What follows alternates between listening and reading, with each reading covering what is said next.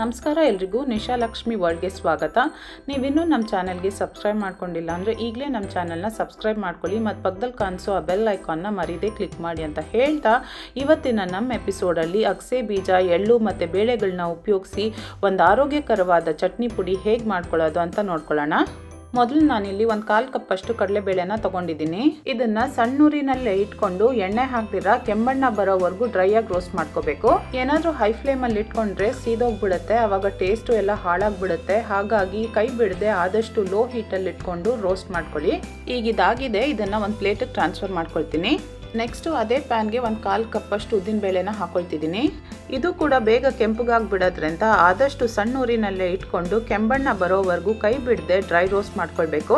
ವಯಸ್ಸಾಗಿರೋರು ಬೇಳೆಗಳು ತಿನ್ನಕ್ಕಾಗಲ್ಲ ಅಂತ ಅನ್ನೋರು ಈ ರೀತಿ ಚಟ್ನಿ ಪುಡಿನ ಮಾಡ್ಕೊಂಡು ತಿನ್ಬೋದು.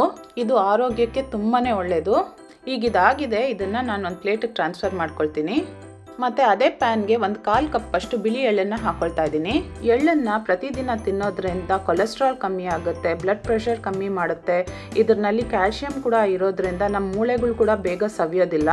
ಇದು ನಮ್ಮ ಚರ್ಮಕ್ಕೆ ಮತ್ತು ಕೂದಲಿಗೆ ಕೂಡ ತುಂಬಾ ಒಳ್ಳೆಯದು ಇದನ್ನು ಅಷ್ಟೇ ಸ್ವಲ್ಪ ಸಣ್ಣ ಉರಿನಲ್ಲೇ ಇಟ್ಕೊಂಡು ಎಳ್ಳೆಲ್ಲ ಸ್ವಲ್ಪ ಚೆನ್ನಾಗಿ ಸಿಡಿದು ಕೆಂಬಣ್ಣ ಬರೋವರೆಗೂ ಡ್ರೈ ರೋಸ್ಟ್ ಮಾಡ್ಕೋಬೇಕು. ಈಗ ಇದಾಗಿದೆ, ಇದನ್ನ ಒಂದು ಪ್ಲೇಟಿಗೆ ಟ್ರಾನ್ಸ್ಫರ್ ಮಾಡ್ಕೊಳ್ತೀನಿ. ಈಗ ಒಂದು ಅರ್ಧ ಕಪ್ ಅಷ್ಟು ಅಗಸೆ ಬೀಜನ ಹಾಕೊಳ್ತಿದ್ದೀನಿ. ಇದು ಗೋಲ್ಡನ್ ಕಲರ್ ಅಲ್ಲಿ ಕೂಡ ಸಿಗುತ್ತೆ, ನೀವು ಯಾವ್ದು ಬೇಕಾದ್ರೂ ಯೂಸ್ ಮಾಡ್ಕೊಂಡು ಮಾಡ್ಕೊಳ್ಬಹುದು ಅಗಸೆ ಬೀಜ ಎಲ್ಲ ಚೆನ್ನಾಗಿ ಸಿಡಿಯೋವರೆಗೂ ಆದಷ್ಟು ಲೋ ಫ್ಲೇಮ್ ಅಲ್ಲಿ ಕೈ ಬಿಡದೆ ಚೆನ್ನಾಗಿ ಫ್ರೈ ಮಾಡ್ಕೊಳ್ಬೇಕು. ಅಗಸೆ ಬೀಜದಲ್ಲಿ ಫೈಬರ್ ಕಂಟೆಂಟ್ ಜಾಸ್ತಿ ಇದೆ ಮತ್ತು ಒಮೆಗಾ ತ್ರೀ ಫ್ಯಾಟಿ ಆಸಿಡ್ಸ್ ಇದೆ. ಜನರಲ್ ಆಗಿ ಇದು ಫಿಶಲ್ಲಿರುತ್ತೆ ಫಿಶನ್ನು ದಿನ ತಿನ್ನೋಕ್ಕಾಗದೇ ಇರೋರು ಮತ್ತು ವೆಜಿಟೇರಿಯನ್ಸ್ ಈ ರೀತಿ ಚಟ್ನಿ ಪುಡಿ ಮಾಡಿಕೊಂಡು ದಿನ ತಿನ್ಬೋದು. ಇದು ಡಯಾಬಿಟಿಕ್ ಪೇಷಂಟ್ಸ್ಗೆ ತುಂಬಾ ಒಳ್ಳೆಯದು ಇದರಲ್ಲಿ ಒಮೆಗಾ ತ್ರೀ ಇರೋದ್ರಿಂದ ಬ್ರೈನ್ ಹೆಲ್ತು ಮತ್ತು ಹಾರ್ಟ್ ಹೆಲ್ತ್ಗೂ ಕೂಡ ತುಂಬಾ ಒಳ್ಳೆಯದು ಈಗ ಇದಾಗಿದೆ ಇದನ್ನು ನಾನು ಒಂದು ಪ್ಲೇಟಿಗೆ ಟ್ರಾನ್ಸ್ಫರ್ ಮಾಡ್ಕೊಳ್ತೀನಿ. ನೆಕ್ಸ್ಟು ಅದೇ ಪ್ಯಾನ್ಗೆ ಒನ್ ಟೀ ಸ್ಪೂನಷ್ಟು ಎಣ್ಣೆನ ಹಾಕ್ಕೊಂಡು ನಾಲ್ಕರಿಂದ ಐದು ಗರಿಯಷ್ಟು ಕರ್ಬೇವಿನ ಸೊಪ್ಪು. ಕರ್ಬೇವಿನ ಸೊಪ್ಪು ಜಾಸ್ತಿ ಹಾಕಿದಷ್ಟು ರುಚಿ ಚೆನ್ನಾಗೇ ಇರುತ್ತೆ. ಕಲರ್ಗೋಸ್ಕರ ಒಂದು ಹತ್ತರಿಂದ ಹನ್ನೆರಡು ಬ್ಯಾಡಗಿ ಮೆಣಸಿನ್ಕಾಯಿ ಮತ್ತು ಖಾರಕ್ಕೆ ಒಂದು ನಾಲ್ಕರಿಂದ ಐದು ಗುಂಟೂರು ಮೆಣಸಿನ್ಕಾಯಿ. ಖಾರ ಬೇಡ, ಬರೀ ಕಲರ್ ಸಾಕು ಅನ್ನೋರು ಬ್ಯಾಡಗಿ ಮೆಣಸಿನ್ಕಾಯಿ ಹಾಕೊಳ್ಳಿ. ಖಾರ ಜಾಸ್ತಿ ತಿನ್ನೋರು ಇನ್ನೊಂದೆರಡು ಗುಂಟೂರು ಮೆಣಸಿನ್ಕಾಯಿನ ಜಾಸ್ತಿ ಹಾಕೊಂಡು ಮಾಡ್ಕೊಳ್ಬೋದು.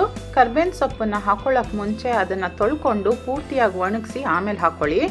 ಈಗ ಕರ್ಬೇವಿನ ಸೊಪ್ಪು ಪೂರ್ತಿಯಾಗಿ ಡ್ರೈ ಆಗೋವರೆಗೂ ಚೆನ್ನಾಗಿ ರೋಸ್ಟ್ ಮಾಡ್ಕೊಳ್ಬೇಕು. ನೋಡಿ, ಇಷ್ಟ ಆಗಬೇಕು. ಈಗ ಇದಕ್ಕೆ ಒಂದು ಕಾಲು ಚಿಪ್ಪಷ್ಟು ತುರಿದಿರೋಂಥ ಒಣಕೊಬ್ಬರಿನ ಹಾಕ್ಕೊಂಡು ಸ್ವಲ್ಪ ಗೋಲ್ಡನ್ ಕಲರ್ ಬರೋವರೆಗೂ ಫ್ರೈ ಮಾಡ್ಕೊಳ್ಬೇಕು. ಆಗ ಚಟ್ನಿ ಪುಡಿ ಬೇಗ ಹಾಳಾಗೋದಿಲ್ಲ. ಈ ಚಟ್ನಿ ಪುಡಿಲಿ ಅಗಸೆ ಬೀಜ ಅಲ್ಲದೆ ಎಳ್ಳು ಮತ್ತು ಬೇಳೆಗಳು ಎಲ್ಲ ಹಾಕಿ ಮಾಡಿರೋದ್ರಿಂದ ಪ್ರೋಟೀನ್ಸ್ ಮಿನರಲ್ಸ್ ವಿಟಮಿನ್ಸ್ ಮತ್ತು ಫೈಬರ್ ಕಂಟೆಂಟ್ ಇರೋದ್ರಿಂದ ಇದನ್ನು ಮಕ್ಕಳಿಂದ ವಯಸ್ಸಾದವ್ರವರೆಗೂ ಪ್ರತಿದಿನ ಇದನ್ನು ಸೇವಿಸ್ಬೋದು. ಇದು ಆರೋಗ್ಯಕ್ಕೆ ತುಂಬಾ ಒಳ್ಳೆಯದು ಈಗ ಇದಾಗಿದೆ, ಇದನ್ನು ಸ್ವಲ್ಪ ತಣ್ಣಗಾಗೋದಕ್ಕೆ ಬಿಡಬೇಕು. ಸುಮಾರು ಒಂದು ಸಣ್ಣ ನಿಂಬೆಹಣ್ಣು ಗಾತ್ರದಷ್ಟು ಹುಣಸೆ ಹಣ್ಣನ್ನು ಕ್ಲೀನಾಗಿ ನಾರು ಮತ್ತು ಬೀಜ ಎಲ್ಲ ತೆಗೆದುಬಿಟ್ಟು ಹಾಕೊಳ್ಳಿ. ನಾನಿಲ್ಲಿ ಬೆಲ್ಲದ ಪುಡಿ ಉಪಯೋಗಿಸ್ತಾ ಇದ್ದೀನಿ. ಹಾಗಾಗಿ ಒಂದು ಎರಡು ಟೀ ಸ್ಪೂನಷ್ಟು ಬೆಲ್ಲದ ಪುಡಿ. ಸ್ವೀಟ್ ಜಾಸ್ತಿ ಬೇಕು ಅನ್ನೋರು ಇನ್ನು ಸ್ವಲ್ಪ ಜಾಸ್ತಿ ಹಾಕೊಳ್ಬೋದು. ಇದು ಪೂರ್ತಿಯಾಗಿ ತಣ್ಣಗಾದ್ಮೇಲೆ ಮೊದಲು ನಾವು ಹುರಿದಿಟ್ಕೊಂಡಿದ್ದಂಥ ಅಗಸೆ ಬೀಜ, ಎಳ್ಳು, ಕಡಲೆಬೇಳೆ, ಉದ್ದಿನಬೇಳೆ ಎಲ್ಲನೂ ಒಂದು ಮಿಕ್ಸಿ ಜಾರ್ಗೆ ಹಾಕ್ಕೊಳ್ಬೇಕು ಮತ್ತು ಒಣಕೊಬ್ಬರಿ ಕರಿಬೇವು ಒಣಮೆಣಸಿನ್ಕಾಯನ್ನೆಲ್ಲ ಹಾಕ್ಕೊಳ್ಬೇಕು ರುಚಿಗೆ ತಕ್ಕಷ್ಟು ಉಪ್ಪು ಹಾಕ್ಕೊಂಡು ನಾನು ಸುಮಾರು ಒನ್ ಟೀ ಸ್ಪೂನಷ್ಟು ಉಪ್ಪು ಹಾಕ್ಕೊಂಡಿದ್ದೀನಿ ಪೌಡ್ರ್ ಮಾಡ್ಕೊಳ್ಬೇಕು. ನಿಲ್ಲಿಸಿ ನಿಲ್ಲಿಸಿ ರುಬ್ಕೊಳ್ಬೇಕು. ಒಂದೇ ಸಲ ರುಬ್ಕೊಳ್ತು ಅಂತಂದರೆ ಎಳ್ಳು ಹಾಕಿರೋದ್ರಿಂದ ಎಣ್ಣೆ ಬಿಟ್ಕೊಂಡು ಗಂಟುಗಳಾಗ್ಬಿಡುತ್ತೆ. ಇದು ತೀರಾ ನೈಸಾಗೂ ಇರಬಾರ್ದು. ಸ್ವಲ್ಪ ತರಿ ತರಿಯಾಗಿರಬೇಕು.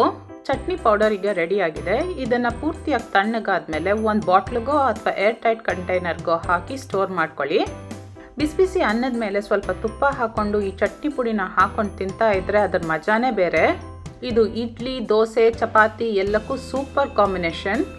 ಈ ರೆಸಿಪಿನ ಒಂದ್ಸಲ ಟ್ರೈ ಮಾಡಿ ನೋಡಿ ಡೆಫಿನೆಟಾಗಿ ಇಷ್ಟಪಡ್ತೀರಾ?